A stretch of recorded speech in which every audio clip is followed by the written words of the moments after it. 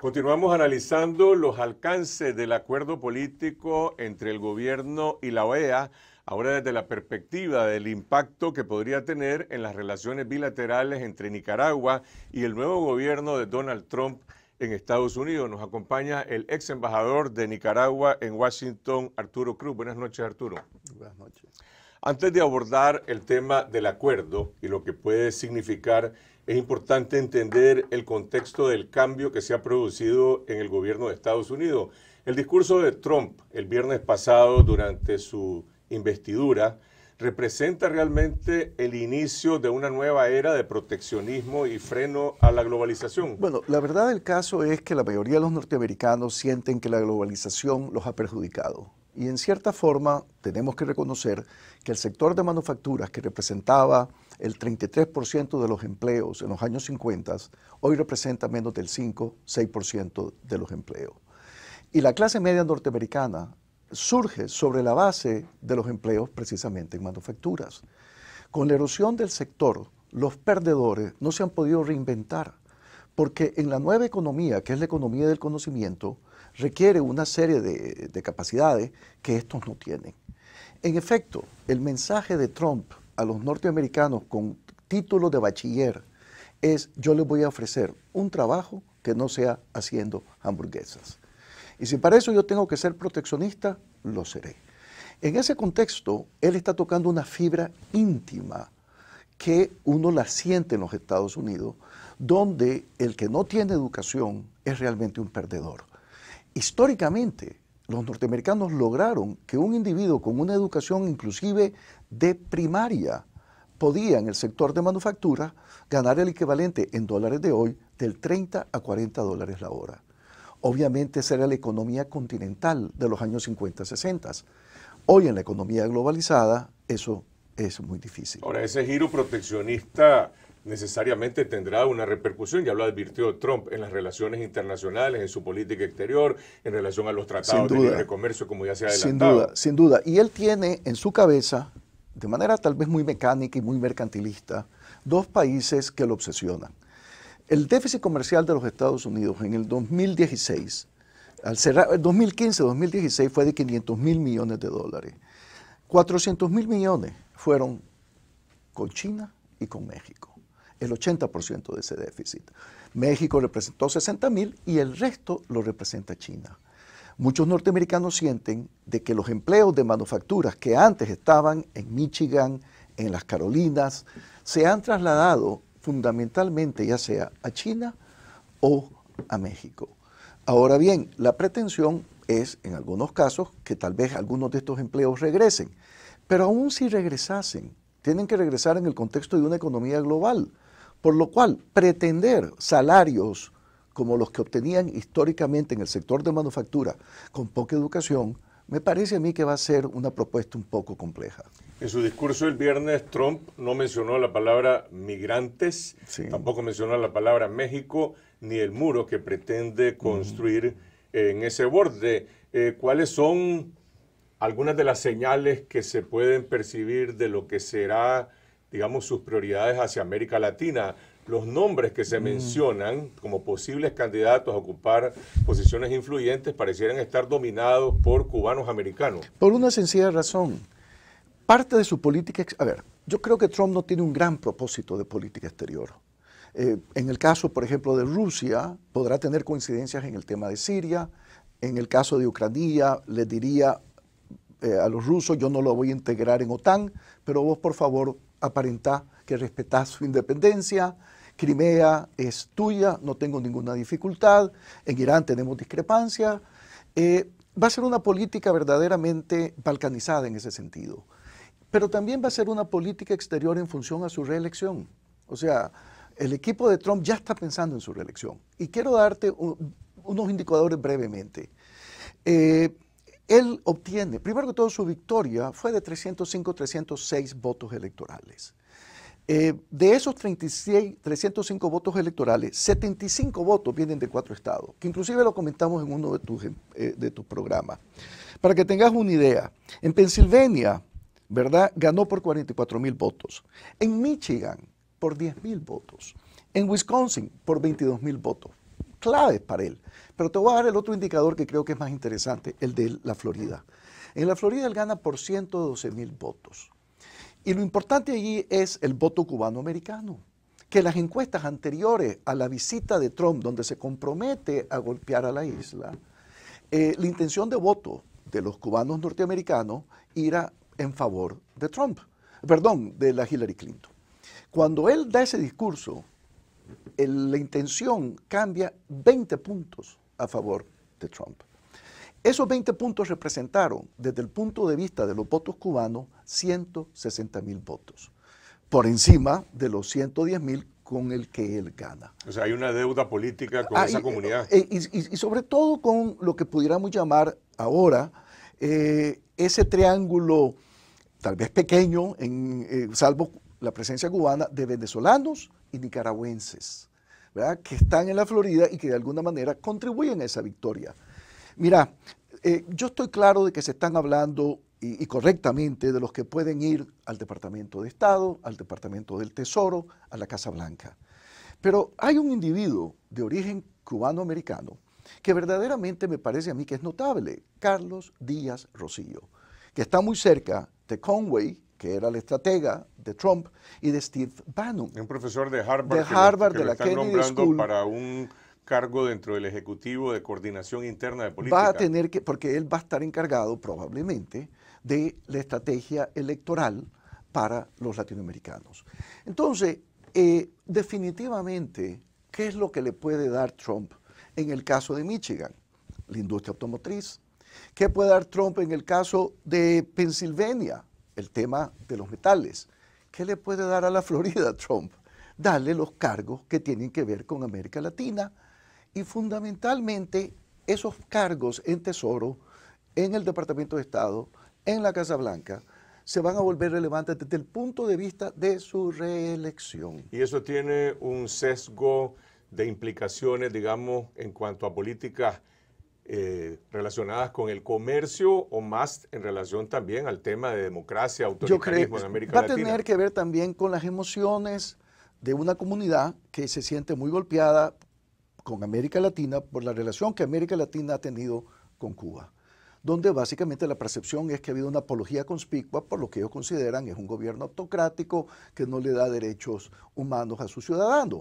Y por lo tanto hay un prejuicio muy fuerte ahí. Por ejemplo, Eileen de Poblete, que supuestamente iría a la Casa Blanca, viene del staff de Ileana Rosletting el que va al tesoro posiblemente, ¿verdad? Tiene una comunicación muy cercana con el equipo de Menéndez, con el equipo de Rubio, y muchos de los eh, que están pensándose para el tesoro en el futuro y de sus representantes en los multilaterales van a estar íntimamente ligados con estas preferencias. Eso es una mala noticia para un gobierno como el que encabeza el comandante Ortega en Nicaragua, que ha sido señalado, digamos, de demoler las instituciones democráticas, o para el gobierno de Maduro en Venezuela. Obviamente va a ser un desafío poder trascender esos cuadros intermedios, por ponerlo así, y poder llegarle a los, digamos, realistas de Trump, que en cierta manera valorizan la estabilidad, la efectividad, independientemente de las credenciales democráticas.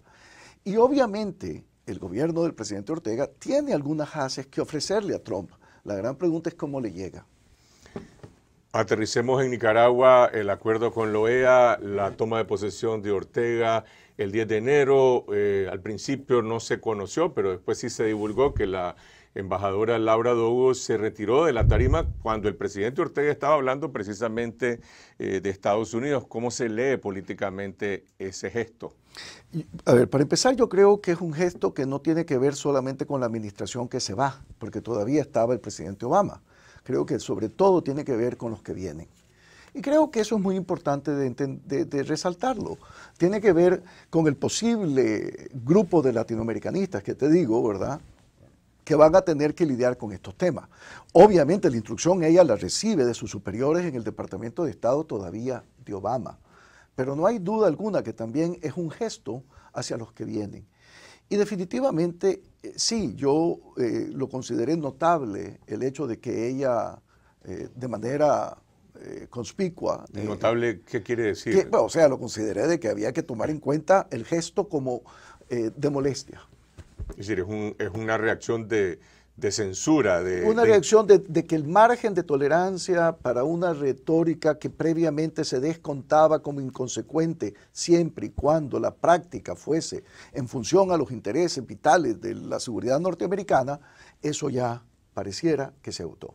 El acuerdo que se dio a conocer el viernes entre el gobierno y la OEA, que se presenta como un adelanto de algo más amplio que se presentará el 28 de febrero, ¿qué impacto puede tener en el clima que hasta ahora ha prevalecido en el Congreso norteamericano dominado por los republicanos, que el año pasado aprobó la ley NICA Act como una reacción para pretender imponer sanciones económicas a Nicaragua por las violaciones a las normas democráticas? A ver, primero que todo, tengo que reconocer que la diplomacia del gobierno del presidente Ortega demostró mucha habilidad en este sentido. Sacó un comunicado compartido, conjunto. Ya de por sí eso es una victoria. En segundo lugar, de alguna manera, 2016 es un hecho consumado. Todo es en función hacia el futuro. Y básicamente eh, es decir, Ortega está imponiendo un borrón y cuenta Básicamente, eh, y la OEA se lo está reconociendo en ese documento. Y lo interesante es que hablan de un calendario que van a que a finales de febrero van a, van a, lograr tener un memorándum de entendimiento de calendario de actividades en los próximos tres años, con un sentido muy técnico de las cosas. Eh, desde ese punto de vista es indiscutible que, creo yo, que ellos compraron tiempo y comprar un tiempo sobre todo para ver cómo se configura la política en Washington, me da esa impresión, en cuanto al equipo de Obama, el equipo de Trump. Ahora bien, en cuanto a la Cámara de Representantes, donde se va a iniciar el proyecto de ley una vez más, y más o menos, y obviamente no quiero decir que así va a ser, pero yo especulo que lo van a introducir en marzo, que es cuando el calendario de actividades en la Cámara es bastante prolongado. Eh, para los que lo van a introducir, independientemente de lo que el gobierno de Nicaragua estuviera dispuesto a dar, eh, nunca van a ser satisfechos, son insaciables en ese sentido. Pero no hay duda de que el equipo, digamos, de los demócratas, y sobre todo me refiero al equipo de Engel, tal vez en este comunicado pueda encontrar algunos elementos que le permiten eh, contrarrestar los puntos más extremos del proyecto de ley. Pero ese acuerdo no toca el problema toral que ha causado, digamos, conmoción en Nicaragua y también en el exterior, que es el hecho de que se ha establecido un régimen de control partidario de todas las instituciones, empezando por el Consejo Supremo Electoral, por la Corte Suprema de Justicia, por la Contraloría, por la Fiscalía, y en Nicaragua colapsó el sistema de contrapeso democrático de poderes. No, tenés toda la razón. Por eso, pero te estoy diciendo lo que yo creo que puede ocurrir independientemente de esta discusión. Ahora bien, ¿qué es lo que le va a dar vida al NICA Act en la Cámara? Lo que ocurre en las elecciones municipales. Si las elecciones municipales tienen un mínimo de, de majestad y de credibilidad, creo que definitivamente, independientemente de que inclusive el NICA Act pase en la Cámara, en el Senado se le puede complicar su gestión. Ahora, si no tiene ese mínimo, definitivamente el NICA Act en la Cámara pasaría con una gran velocidad y en el Senado es más complejo, pero tendría más posibilidades de pasar. O sea que en última Pero no veo NICA Act, te lo digo con franqueza, Carlos Fernando, en este año, independientemente de la discusión si vamos a tener NICA Act, va a ser en el 2018. En última instancia, Arturo, la pelota está en la cancha de los nicaragüenses. es decir, las reacciones diversas que se han manifestado hasta ahora de la oposición ante este acuerdo. Ciudadanos por la Libertad dice, es un paso muy pequeño, pero va en la dirección correcta. El Frente Amplio por la Democracia dice, eh, no aceptamos que se venga a pretender legitimar una farsa electoral. Esto no resuelve el problema de fondo del país. Dependerá de cómo eh, se proyecta la dinámica política nacional, cómo esto repercute a nivel internacional. Y te, voy a y te voy a concluir en este tema, ¿verdad?, con dos observaciones. Si de alguna manera en las elecciones venideras tenés presencia de un partido que refleje eh, el viejo PLI, por ponerlo así, y por otro lado tenés acompañamiento, observación nacional e internacional, aún con el Consejo Electoral que tenés, deficiente completamente, ya con esas dos cosas vos podés avanzar mucho desde el punto de vista del gobierno en el tema del NICA Act en el Congreso. Pero esos son los dos mínimos. Si eso solamente das, esos dos es lo mínimo para poder verdaderamente tener una política efectiva en la Cámara y en el Senado. Ahora, vos fuiste embajador de Nicaragua en los primeros años del gobierno del comandante Ortega, precisamente cuando se produjo un fraude electoral ampliamente documentado en el, 2008. en el año 2008. Eso quedó registrado. Hubo después una reelección inconstitucional del presidente a partir del el año 2011. Esos, esos elementos que han marcado el rumbo de la deriva autoritaria del país, del deterioro de todo el sistema democrático, ¿tienen o no tienen impacto en esta relación? Sobre todo lo tuvieron con Hillary Clinton. Y tú te recuerdas cuando Phyllis Power viene, que su primer discurso a los días de estar en Nicaragua fue un discurso muy agresivo. Sin embargo, cuando entra Kerry, las cosas cambian. ¿Y por qué es que cambian las cosas? Porque obviamente el Triángulo Norte es complicado, porque definitivamente hay una situación de deterioro en la región y empieza a haber escepticismo en algunos casos con la idea de que vos podés promover democracia desde Washington y empieza a haber un sentido mayor de realismo, de efectividad y se cree en Washington que independientemente de todo esto, el gobierno nicaragüense es efectivo, la economía crece, hay seguridad y tiene sustento popular. Y la pregunta que se hace en Washington es, ¿por qué es que el presidente Ortega insiste en restarse el mismo legitimidad?